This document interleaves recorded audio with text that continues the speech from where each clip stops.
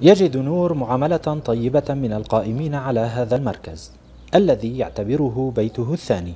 نقل إليه بعد وصوله إلى معبر قلعة المضيق مع قوافل المهجرين من الغوطة الشرقية. نتيجة تعرضه لإصابة بليغة في الرأس والعمود الفقري عند استهداف منزله في بلدة بيت سوا في الغوطة الشرقية قبل عامين. أدت إلى حالة شلل جزئي في أطرافه أثرت بشكل كبير على حركته ونطقه. ولصعوبة وضعه الصحي نقل نور عبر سيارات الإسعاف لمتابعة علاجه في مشافي ريف إدلب. حيث يقيم في هذا المركز مع عدد من رفاقه في معرة النعمان ويخضع لفحوصات دورية لم يستطع إجراءها في الغوطة الشرقية نتيجة الحصار وقلة الأدوية والمشافي. أنا من الغوطة الشرقية طبعا الدفعة الأخيرة مقيم بهذا المركز للخدمات معالجة الفيزيائية بيجي الدكتور بهون والممرضين عم يجوا يغيروا الجرحى هون يشرف على متابعة الأوضاع الصحية لهؤلاء الجرحى.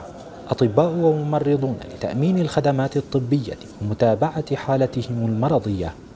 كما يعمل القائمون على المركز بتأمين الأسرة والطعام والعلاج الفيزيائي لهم. في المركز الذي يعتبر مكان إقامة لهم إلى أن تنتهي فترة علاجهم.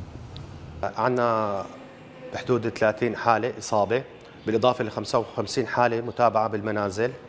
مو موجودين يعني ضمن المركز 30 حالة 55 ضمن المنازل.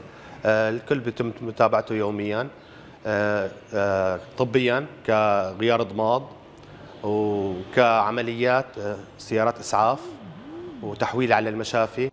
على الرغم من جراحاتهم إلا أنهم يمضون الكثير من أوقاتهم. باستعادة ذكريات فترة طويلة قضوها تحت غارات الطائرات وقصف المدافع.